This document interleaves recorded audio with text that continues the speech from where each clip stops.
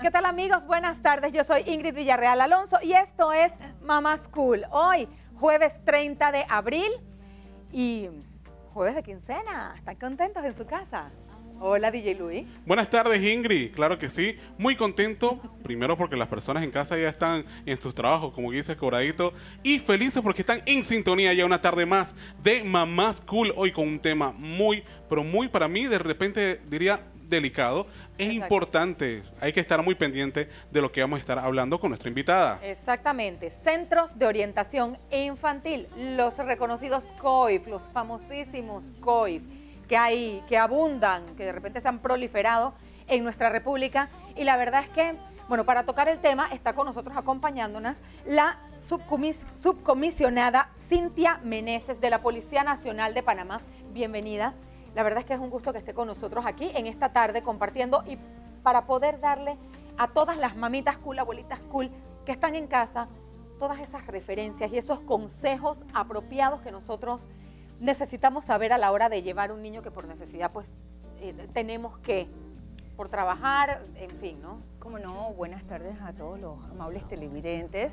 A nivel de seguridad, nuestra institución eh, descansa sobre todo porque la niñez es un punto importante para todos nosotros. Entonces, los padres de familia sabemos que es una necesidad eh, encontrar un buen centro de orientación infantil o una buena guardería en donde dejar a sus hijos, pero no podemos olvidar también ciertos aspectos y ciertos detalles, por lo menos a la hora de buscar el, local, a la hora de que ese local lo encontramos, que la persona que, maneja a nuestros hijos sea un personal idóneo, que, sepa del trabajo de niños. Si usted va al lugar, pues trate de ir a la hora de, salida de, los niños para preguntarle a otras personas que, están ahí, que son padres también, para ver qué, qué tal les va con ese centro de, orientación. ¿Qué le parece su comisionada? Sí eh, oye, yo tengo la lengua tan trabada, oye, es el frío que está haciendo en este estudio, no puedo ni con mi vida, me tiemblan las manos.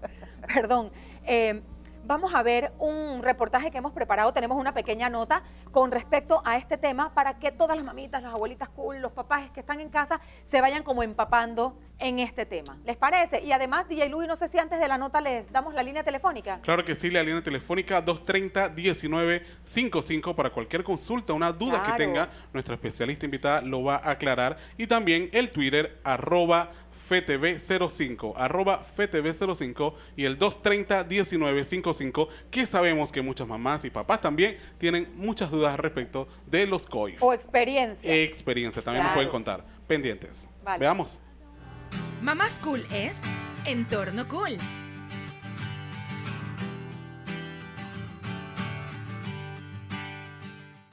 Los centros de orientación infantil y familiar, mejor conocidos como los COIF, son utilizados por las mamás cool que buscan una opción del cuidado de sus hijos.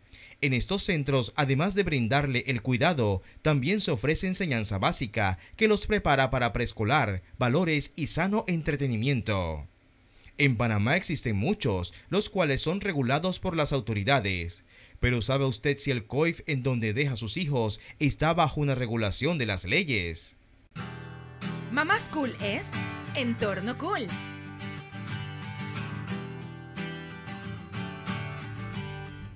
La verdad es que, DJ Luis, bueno, yo te digo, yo nunca he sabido si los centros de orientación infantil o guarderías o maternales donde he llevado a mis hijas se han estado regulados porque como mamá nunca sé qué buscar. Claro. Muchas veces, o muchos años atrás, se veía que un COIF era un local, un, establecimiento como tal, que de repente era bastante amplio. Y yo que hay ahora, lo moderno, lo nuevo, lo más reciente, son que en las propias casas arman los COIF. Esto es legal, es ilegal, cuentan con las normas necesarias de seguridad y espacio de áreas verdes para los niños. Muchas dudas. Lo, importante es, eh, podemos empezar de repente viendo eso. Eh, tengo aquí una cifra que indica que en nuestro país existe un total de 580 COIF privados y solamente 200 de ellos tienen los permisos requeridos. ¿Cómo nosotros podemos saber si de, eh, de, esta cantidad, que a lo mejor son los registrados o los que se han podido censar, no sé si eso se hace, uno sabe que existen? También deben haber muchos que ni siquiera eh, a lo mejor las autoridades lo saben, ajá, porque no están legalizados estos centros de orientación infantil. ¿Cómo puedo yo saber si el centro de orientación infantil a donde estoy llevando a mis pequeños es legal y cuenta con los requerimientos exigidos por ley?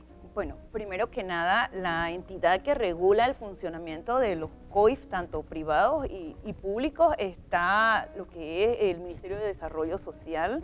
Entonces, también ellos les exigen ciertas hojas de requerimientos, ellos deben de tener un permiso de zonificación eh, expedido por el, el MIBIOT, también un permiso para funcionar por parte de los, eh, los bomberos. Eso debe estar de- de visible. SINAPROC, correcto, y también eh, la licencia para lo que es el funcionamiento del local por parte del Ministerio de Comercio e Industrias. Correcto. Entonces, aquí hay que decir algo también importante, eh, eh, dado que la persona tenga una duda de esto, eh, llamar a, a lo que es el Ministerio de Desarrollo Social, que es lo que eh, regula el funcionamiento de esto, y ver si dentro del listado que ellos tienen, este, este local está activa, activa, activamente activado. Ajá. Pues entonces pienso que esa puede ser el primer canal de, de- de- para verificar si el local es funcionable. Ah, ok. Comunicándonos entonces con, el, Ministerio, de Desarrollo, Social. Eh, ellos deberían tener, tener todo este tipo de... Incluso yo he sabido de que ellos hacen visitas a, a- a estos locales y, y en realidad dan la certificación si el lugar es Ah, funcionable o no es funcionable, porque me imagino que también eh, recibirán sus llamadas anónimas también y se recibirán algunos casos de, de- de maltrato que se han detectado, porque este, eh, la persona también si se siente afectada, pues obvio que debe de poner su, su denuncia. Sí, en todas las instancias que tengan que ver.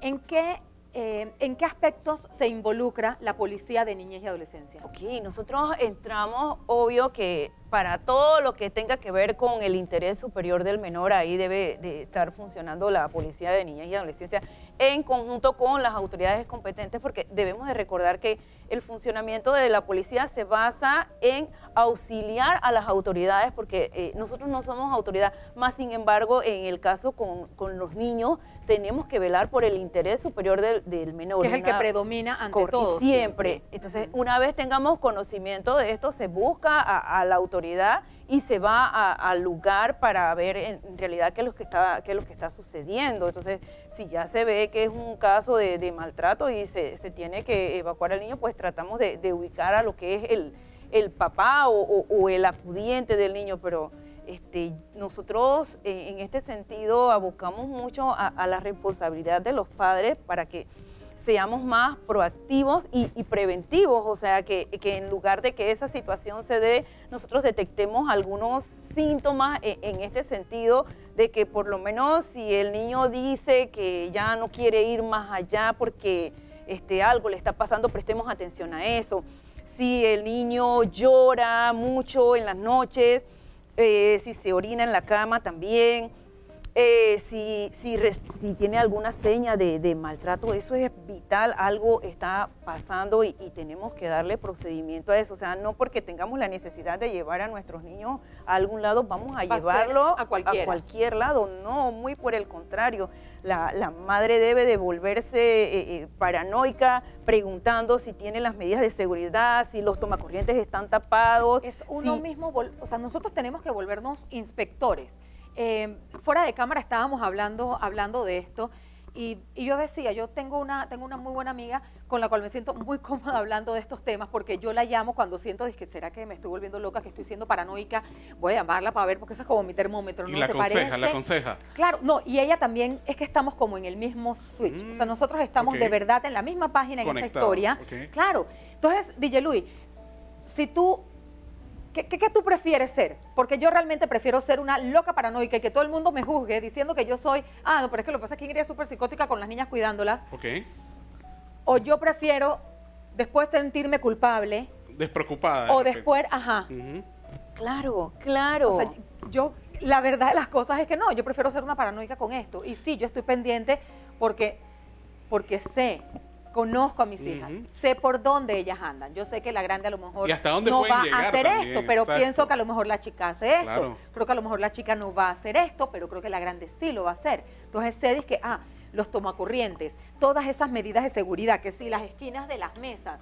¿Por qué tú tienes una mesa de vidrio? ¿Cómo tú puedes tener una, un escritorio de vidrio en la recepción de una guardería? Por ejemplo, de un maternal. Eso no, tiene sentido. Bueno, esta y otras eh, consultas y respuestas vamos a resolverlas, perdón, después del cambio comercial. Claro, ya volvemos en un momentito y seguimos nosotros aquí haciéndole preguntitas también.